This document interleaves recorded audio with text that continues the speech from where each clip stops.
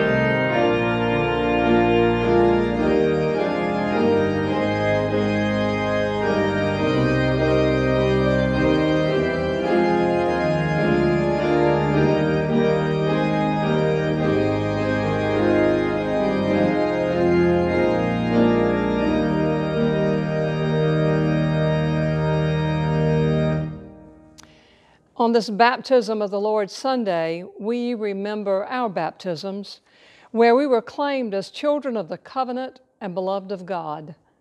Yet we live as those who are alienated from God. We've turned away from God, one another, and the earth. Let us confess our sins, trusting in God's mercy. Let us pray. Merciful God, we confess that we are estranged from you and from one another. We treat others as strangers rather than as people created in your image and fellow children of God.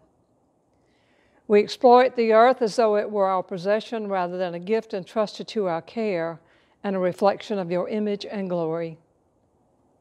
Forgive us our sins and transform us by your Spirit that we might live as people who have been baptized as your own children. Amen.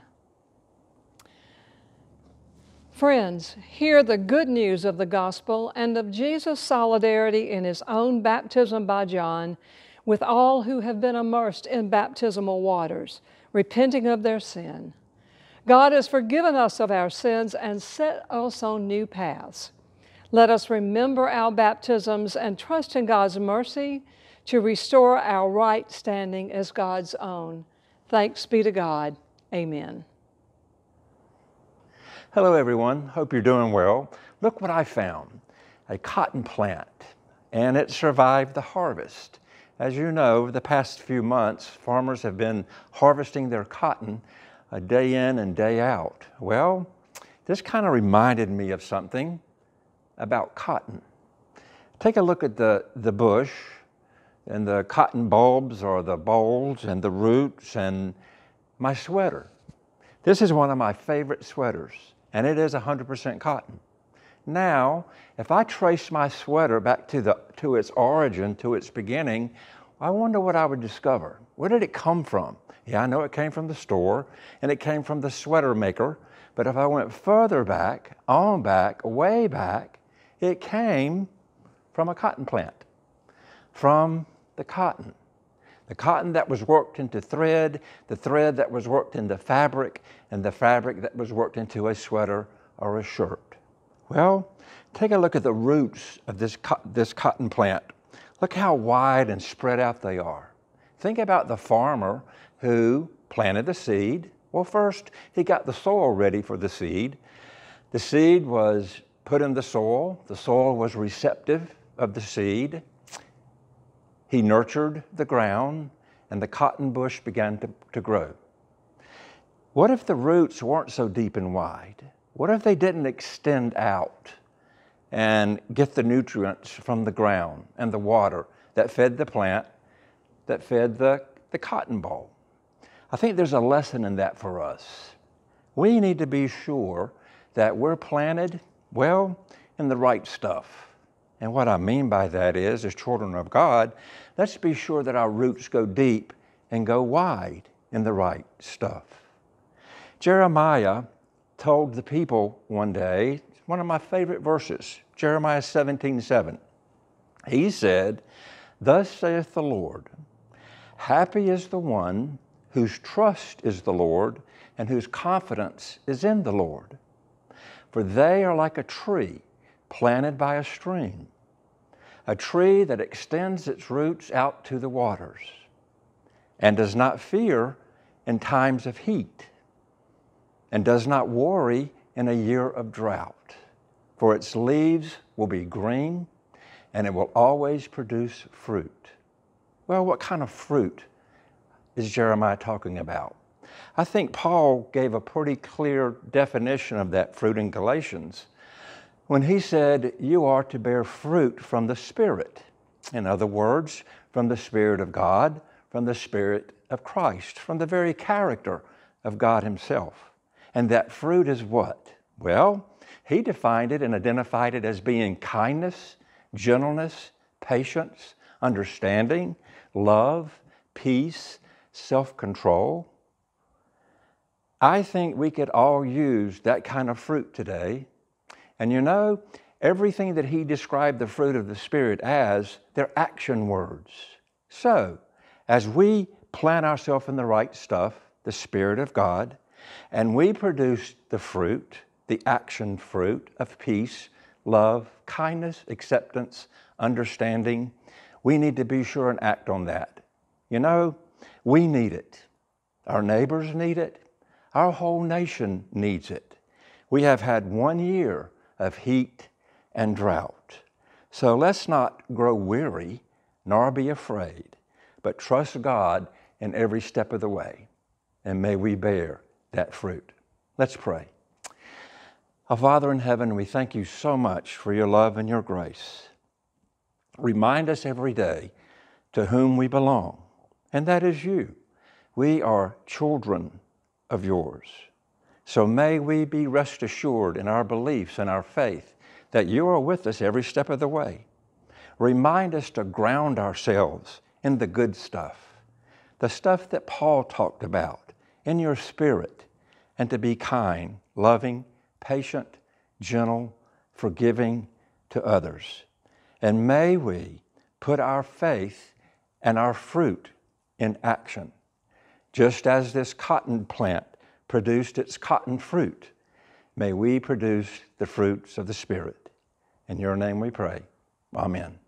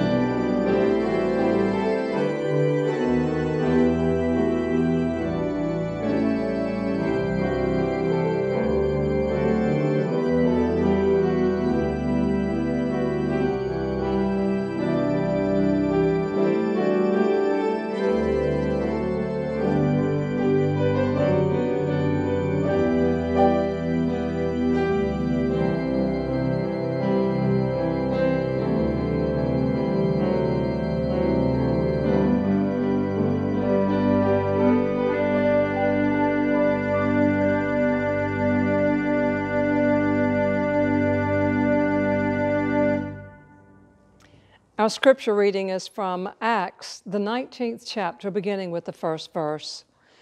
While Apollos was in Corinth, Paul passed by the interior regions and came to Ephesus, where he found some disciples. And he said to them, Did you receive the Holy Spirit when you became believers? And they replied, No, we've not even heard that there is a Holy Spirit. Then he said, Into the, what then were you baptized? And they answered, Into John's baptism. And Paul said, John baptized with the baptism of repentance, telling the people to believe in the one who was come was to come after him, that is, in Jesus. On hearing this, they were baptized in the name of the Lord Jesus. When Paul had laid his hands on him, the Holy Spirit came upon them, and they spoke in tongues and prophesied. Together there were about twelve of them. This is the word of the Lord. Thanks be to God. One morning while I was living in Tennessee, I was on my way to the church, and I noticed that mixed in with melting snow and those early signs of spring, sunlight reflected off bits of discarded Christmas tinsel. It was a vague reminder of Christmas, discarded tinsel icicles caught in the, in the grass where a cast off Christmas tree had been dragged to the sidewalk waiting to be tossed onto the trash truck. I felt a little sad, actually, recalling the beauty of the Christmas season, the music, the decorations, so much excitement. The season comes and goes so quickly. Just two weeks ago, we celebrated the birth of Jesus Christ. And this past Wednesday, about 18 or so of us gathered out on the front lawn with candles to celebrate Epiphany, the official end of the Christmas season. The word epiphany means to show or to make known or even to reveal. For us in the Christian word, Christian world, the world most often is a reminder of the arrival of the wise men at the place where Christ was born. The wise men revealed or made known to the world Jesus is Lord and King. The month of December leading up to Christmas is rife with visible reminders of Christmas. But there is more to experiencing the birth of Christ than those outward expressions.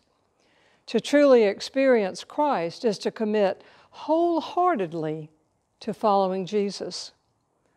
The wise men were totally committed to finding the Christ child. They set their sights on a star that marked the place of Jesus' birth and nothing would stop them until they found that sacred light. So, for another year, Christmas is over and a whole year of opportunity is ahead. We can take a cue from the wise men with a renewed commitment of our own search for the Christ child.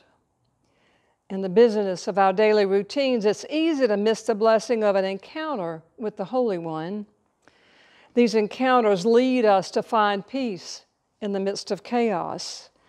An encounter with the Holy One gives us strength to make it through another day and gives us hope for tomorrow. The blessings of the Holy One are yours, not for the asking, but merely for the receiving. In your own search for the Christ child, you must take the time and make the room in your heart to receive all that God wants to do for you. It is all because of the birth of Jesus that the door to God's blessing in our lives has been opened. One writer says this about Jesus He was born in an obscure village, the child of a peasant woman. He grew up in another obscure village where he worked as a carpenter. He never wrote a book, he never held an office, he never went to college, never visited a big city. He never traveled more than 200 miles from the place where he was born. He did none of the things usually associated with greatness. He had no credentials but himself. He was only 33. His friends ran away, and one of them denied him. He was turned over to his enemies and went through the mockery of a trial. He was nailed to a cross between two thieves. While dying, his executioners gambled for his clothing, the only property he had. And when he was dead, he was laid in a borrowed grave through the pity of a friend. 21 centuries have come and gone, and today Jesus is the central figure of the human race and the leader of mankind's progress. All the armies that have ever marched, all the navies that have ever sailed, all the parliaments that have ever sat, all the kings that ever reigned, put together have not affected the life of mankind on earth as powerfully as that one solitary life. The wise men discovered this solitary life. And when they were confronted with the power of God's love through this solitary life, Jesus Christ, they were guided by God back to their homes along a different route because they were different. Their hearts were changed in the presence of the holy. The Apostle Paul was changed by this solitary life, so changed, in fact, that he left the life of persecuting and murdering Christians to share the gospel of Jesus Christ's love. In Romans, we read about this. I am a debtor both to Greeks and to barbarians, both to the wise and to the foolish. Hence my eagerness to proclaim the gospel to you also who are in Rome. For I am not ashamed of the gospel. It is the power of God for salvation to everyone who has faith, to the Jew first and also to the Greek. For in it the righteousness of God is revealed through faith. For faith, as it is written, the one who is righteous will live by faith. After his conversion, Paul described an overwhelming desire to share his faith. He felt an obligation to God as a result of his salvation. And Paul's focus was 100% on the gospel. He was committed to sharing the gospel with anyone who would listen Jews, Greeks, barbarians, farmers, business people, Democrats, Republicans, independents, anyone, regardless of their race, their social level, or their educational background.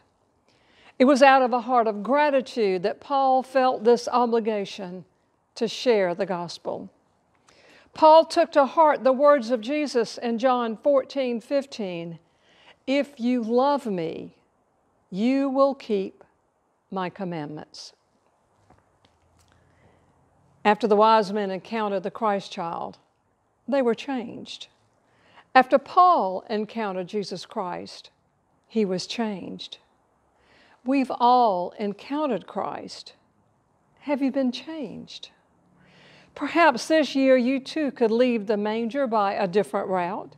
Perhaps this could be the year that you commit to sharing the good news of the gospel and to do it with excitement and eagerness. Tell someone how God has worked in your life. If you, like Paul, love Jesus, renew your commitment to keep his commandments. After Christ commissioned the disciples, he leaves them with the same promise he leaves with us. Remember, I am with you always to the end of age. This is indeed the good news of the gospel we should claim it and we should share it. It is because our lives have been touched by this birth of love in Jesus Christ that we live and give and care as we do. It is because our lives are grasped by the Spirit of Christ that we got up this morning and we did our best, and sometimes we wanted to sing. It is because we are in love with this vision of life that we have hope no matter what, and a reason to be and laugh and reach out. It makes all the difference because this celebration was just a reminder to keep our eyes open to the God around us, the Christ beside us, and the Spirit that is in us. Thanks be to God. Amen.